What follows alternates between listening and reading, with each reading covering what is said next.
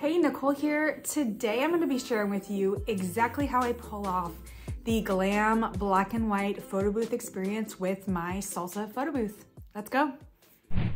There are a couple really crucial elements to pulling this off well. I'm gonna be sharing with you some creators that I think are doing it super well with their iPad-based photo booth, the Salsa photo booth, um, in the description below. So please go check out their Instagram accounts.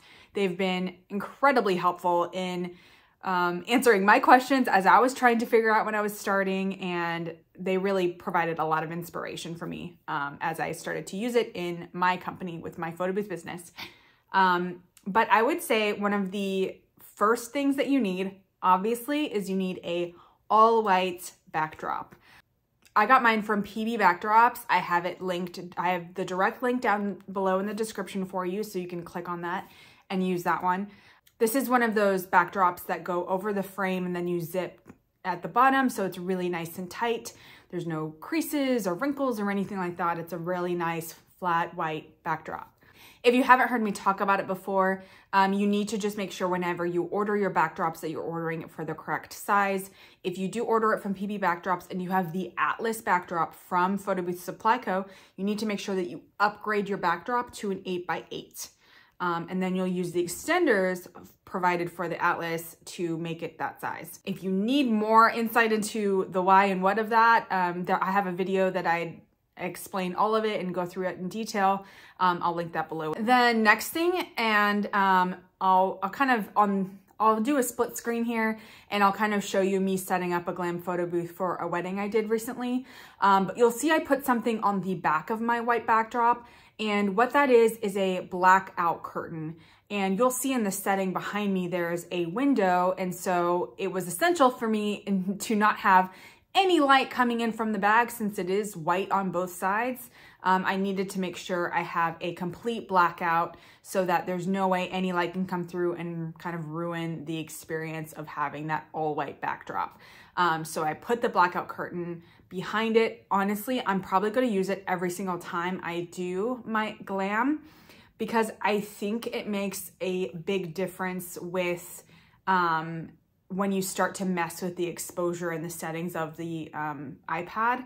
And I'll go into that more later, but I'm kind of experimenting to see if having that solid white, like almost vinyl backdrop helps to reflect light better um, versus the cloth. And so I think I'm right um, in that path. But if you've ever done that experiment, let me know. I would love to know. Um, but I do think it makes a difference. I haven't experimented with it just yet and done like a before and after, but hopefully when I have some time, I'll be able to do that and show you guys if it makes a difference. But it's something to consider and something to kind of play around with. Um, it might better the experience, but I don't know. So you've got your backdrop, you've got your blackout curtain. The next most important thing is going to be adjusting the manual settings of exposure at your event. This is difficult to do before the event, uh, also not best practice because every event is going to have different kinds of lighting. And so adjusting your temperature and adjusting your exposure um, in your Salsa app are going to be super essential in pulling off this look. Um, temperature doesn't super matter, um, but it's going to mostly be turning off the auto um, exposure adjustment and um, adjusting it manually. And so I'll share with you now a screen recording of the settings so that you can see exactly what I'm talking about. If you're unaware, ISO is the camera's sensitivity to light. A lower ISO means less sensitivity to light and a higher ISO means more sensitivity. As far as exposure time, you're gonna wanna put that at one over 60. Um, I kind of keep it there for every single event. Um, and then I adjust the ISO to the lighting and needs of the event venue space. When I've done glam, however, you'll see me here um, and I'll do split screen again and show you here me messing around with it. Um, I spent a significant amount of time um, adjusting the settings, trying to get that perfect look. And the look that I want is no shadows. I want the subject and then a completely white backdrop with no shadows. There's a lot of elements involved with that, but it's going to incorporate really great lighting from above the salsa, from the salsa, and then also from um, next to on either side of your backdrop. Charge more for this service because there's a lot of additional lighting that you need to really, really get this right. And it does take quite a bit of time to get the um, settings right on your camera. It's very involved. Um, and so just make sure you're, when you're offering this to your clients that it is an upcharge because it does take more time and more skill. Okay, so here I am on, um, on the iPad and you'll see that, um, and the way that you access this is by going to your camera settings on the left-hand side and then clicking on that exposure button. I'm sorry this is shaky, guys. I'm just holding my iPad. Um, but I'm going to set my exposure time to 1 over 60. Let me show you what changing that um, a little higher does. Makes it a little bit darker and completely back. so what we want to do is let's keep it over at 1 over 60 and then we're going to adjust our ISO. So here I have the ISO pretty low um, and what I do at my event is I want to kind of overexpose myself just a little bit.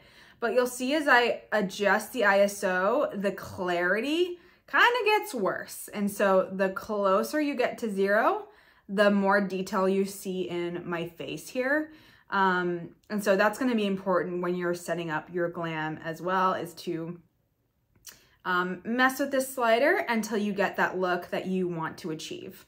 For this particular glam at this wedding, I did have to adjust the settings as the night progressed because the event started towards sunset and went into the evening when it got obviously much darker. Oh, you'll see for when I was uh, kind of up close to the camera, I was a little bit overexposed, but what that allowed for was my backdrop to be solid white and eliminate any kind of gray, any kind of um, darker, not white background. Um, and so I truly believe like to get that perfect glam look, you're gonna have to do manual settings and really kind of play with it and adjust the exposure to get that really crisp, clean look. Another big part of pulling off the glam black and white look is going to be lighting. Lighting is absolutely crucial and essential for getting that best, best look. Additional lighting smooths out your skin, it reduces shadowing, it really just makes everything look better. And I can promise you when your guests are in the photo booth and they leave and get their photo, they're going to be really impressed with what you're able to pull off, even with a um, an iPad photo booth. Um, you're, you're really able to produce a really, really great photo and memory that they'll be able to cherish. So there's a couple of options. When I first started doing glam, I had a large ring light that I just set up above my salsa booth, a little bit slanted down, and that provided like overhead light. So that was able to light up my subjects really well and then a little bit of the background. Of course, when you have a lot of front for forward facing light, you're gonna have a shadow. And so the way to combat that is with exposure settings but also with, I have two additional wand lights that are either side of my photo booth that I position almost at like 45 degree angles to light up my backdrop. And so it's a lot of lighting, it's a lot of work, but it is absolutely worth it to get the results that you want. Um, as a recap, the essentials that you're going to need for a black and white glam photo booth experience with the Salsa photo booth are going to be a white backdrop, I would say a blackout curtain is essential, but you can get away with not having one. Um, I recommend it though, so if you can get it, get it. If you can't, it's okay. Um, the next thing I'm going to recommend is upgrade your lighting. I've linked all of my lighting options below. I've linked the ring light. I also now have um, a full like studio umbrella light that I have um, that I use that I really, really love um, and I'll link that below. Two last tips for getting that really gorgeous glam look is going to be using the mono filter. That's really gonna be the best one to use for black and white. Um, but you can always play around and see if you like the mono or the noir filter. The other one is going to be the glam settings within the Salsa app. So the Salsa has the ability to add a glam filter, which softens, brightens, smooths, does all the little fancy magic. Um, definitely play around with that feature. There have been some issues with it, only applying to one face at a time. Um, so if you're doing like large groups of people, it's probably not ideal. It's not gonna work on everybody. Um, so best probably to turn that off. However, if you're having one to two people, you can turn it on and just mess with how, how much smoothing, how much brightening you want to have on there. I tend to go towards like the softer end, so not too much at all, um, only a little bit of brightening, a little bit of the smoothing. Uh, I want it to look as natural as possible and just as flattering as possible as well. So toggle with that, play with that, um, experiment with it, kind of get a feel for the best look that you want to produce for your clients. And the very last one that I think is super essential to pulling off a really great glam experience is getting your clients as close to the photo booth as possible. And I'm talking like the photo is chest up. And this is because you are working with a iPad, to get the very best quality, you're gonna need to get up close. That means two to three people, you know, maybe four if you can squeeze them in into the photo booth at a time. That's ideal for sure. You can always stretch that and have them further back. To get that look that has become so popularized, it's gonna need to be like close and personal. Um, if you look even at the Mirror Mirror, which was the originator and the original Kardashian glam black and white look, um, the look they produced, it's all very up, up close and personal. It's chest up, um, focuses on the face. So um, that's something to consider and keep in mind is when you place your guests or when you sit, set up your photo booth, how far are you going to be from your backdrop? Are you going to have your guests um, closer to the booth? Um, you can also consider putting tape on the floor, telling them to stand in a specific spot. All in all, you absolutely can produce a really high quality photo. Uh, it just takes some time, preparation, and practice. I hope that helped. I hope this has been insightful for you.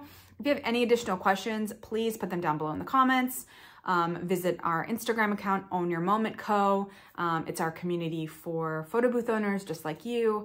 And if you want to be a part of our exclusive Facebook group, where you can ask even more detailed questions. Uh, our motto is no question is a stupid question. No question is a dumb question. We want to answer all your questions. Um, you can find that down there as well. There's a lot of links in the description today, but it's all gonna be worth it. So thank you so much and I will see you guys on the next one. Bye.